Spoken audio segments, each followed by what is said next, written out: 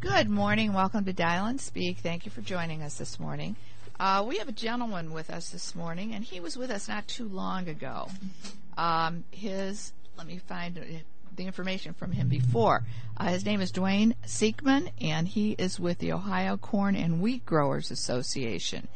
And we had a short uh, segment with him a couple weeks ago talking about corn and wheat and how the weather's affecting all that. And we also wanted to talk about the farm bill. So he is back with us. First of all, I want to make sure we're connected. Are you there? I, I am here. Thank you for the opportunity to, to come back. Well, I'm, I was really excited about having you. We uh, had talked, as I said, about corn and wheat, and uh, maybe we could just go over a few things about that before we talk about the the uh, farm bill.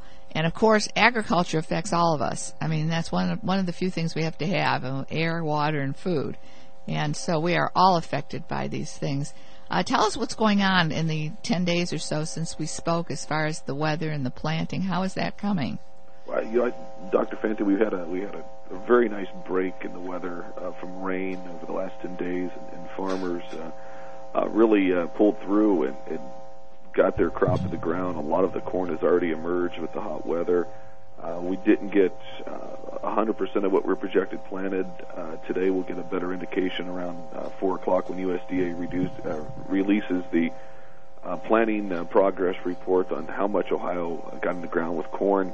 Farmers are continuing to plant soybeans uh, this week. Mm-hmm. Uh, so uh, we made quite a lot of progress from uh, the last time we talked. Well, good. The weather has been so bizarre. I know this morning uh, I got up and it was about 50 here, and actually I was chilly. I walked to the station, and it was actually chilly walking. I mean, we've been going from like 95 to um, uh, cold temperatures and rain, and and then really hot. Yeah it, it, it takes a toll on uh, not only us uh, as uh, consumers, but also uh, just plants in general, whether it's uh, food crops like corn, soybeans, and wheat, or just mm-hmm. our, our, our regular garden crops. These extremes of 95, and then we get 40 degree temperatures at night. It's it is really uh, extremes in temperatures right now. Mm-hmm. Uh, well, it's it's. Uh, I I kind of figured. I kind of figured that maybe it had to do with the uh, you know, that the when the weather got so warm again. Because when we talked a while back, it was water. I mean, we had just had all this rain, constant rain, and uh, then then it got extremely hot. I mean, here I think we had a record in this part of the state it was 93 or 94. Well, uh, and that that hot weather has helped with getting the corn out of the ground. Good. Uh, so the seed was in, and mm-hmm. I, I drove around. Uh, this weekend and Thursday and Friday, I, I saw corn out. I saw corn that has grown really fast, and so they like these early, uh, lots of sunlight, lots of hot temperatures. Uh, we had a nice shower in central Ohio on on Saturday, which is probably going to hamper some growers getting into plant soybeans, but it's uh, it's it's helped the corn, uh, and so it's allowing photosynthesis to work. And we all learned that back in uh, middle school uh, uh, science class. So right. Right, we all did, and uh, it's it's just amazing though. And and I when I, I was talking, I was gone this weekend. In fact, I was in a different part of Ohio, and it's so amazing how the weather is so different in different areas. Um, and they had huge amounts of rains apparently over the weekend in Pennsylvania. It moved a little bit east. This time we were spared from all the rain, but it's amazing how different it is, you know, in different parts and the amounts of rain, and it's all that's typical. I mean, it's all, it's never usually the same in different areas. Um, is corn and wheat, our corn and wheat, grown in most different sections, different counties in Ohio?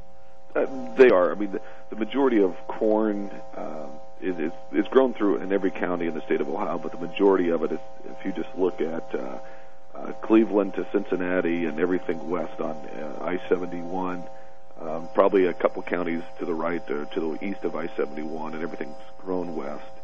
Um, wheat is grown throughout the state as well. The majority of wheat is grown in northwest Ohio. Uh, mm-hmm. Uh, that seems to be the, the largest. Uh, they have the soil, they have the right weather conditions to, to grow wheat in that part of the state. Uh-huh. It's uh, amazing that uh, you know, I had not known was the fact that you gave us about the different kinds of wheat and the kind of wheat that was grown in Ohio and what it's used for. You know, I find that very, very interesting. I, I maybe you can just repeat that for people who don't know. The, and then you also told us about what the corn, um, the different the corn is used for too. But sure. the wheat, what what kind of wheat is grown in Ohio? Uh, in, in Ohio, we grow it's a winter wheat. It's soft red winter wheat, uh, Mm-hmm. meaning when you hear winter wheat, we farmers will plant it in October, uh, November. Uh, it's it's in the ground throughout the winter. It it it, it emerges before uh, the snowfall. Uh, farmers really like to get a snowfall to provide insulation for that wheat, and so after the snow melts, you see a, a, a nice crop uh, coming up. We'll harvest that wheat in June, July. Now, soft red winter wheat is typically not um, a wheat that is milled into flour for breads. It doesn't have the protein content that millers like and bakers like for uh, bread. It's more of a, a non-leavened product, so you'll have flatbreads, you'll have uh, cookies, cakes. Um, you know, I, I meant I think I mentioned uh, communion wafers. Right. Uh, those that's primarily uh, the focus. You, but you have other classes of wheat throughout the United States. Right. Hard reds, um, which are which are your bread wheats, which are milled into nice flour. You have white wheat that can be milled into flour for breads, but white wheat is uh, really, the, I believe, it's the it's the wheat of choice for whole grains. So, that, that, and then you have durum, uh, which is uh, more in the pastas, and so wheat is different than uh, soybean and, and corn. You have various classes that have different qualities for milling into flour, and Uh-huh. millers and bakers prefer certain uh, protein levels, and so the wheat varies on protein. I find that so interesting. I, you know, as I said last time we talked, I thought that was really, you know, because we talk about bread and certain breads with yeast, and they have the real flaky. There's flaky crusts, and then there's the real stretchy yeasty doughs, and so different kinds of wheats are used for different products. And now I know why, when I look at a catalog, why there's so many different kinds of wheat. But it- exactly. it is it is interesting. Yeah. Uh, and maybe we can talk about that again in a few minutes. And I was very interested in the corn too. But let's talk about the farm bill. I have heard the term the farm bill all my life almost. Um, has there have there always been farm bills?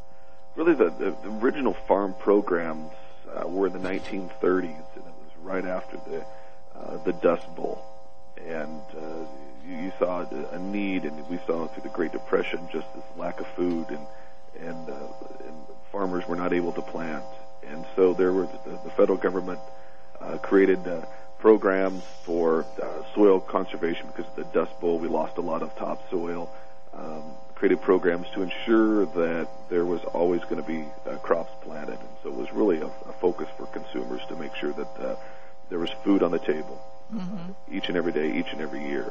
And so, but it's evolved, it's changed um, uh, throughout uh, the decades uh, since the 1930s, and it's we we call it the Farm Bill, but the the name of it in 2008 was the Food Security Act because it's more than just protecting farmers. In fact, 75% of total expenditures out of the Food Security Act uh, do not go to uh, farm programs. It's, it's food programs, nutrition programs, uh, WIC programs, uh, etc. And so it's, it's, it still has that consumer focus, but the name always seems to resonate in, in the farm focus. Huh.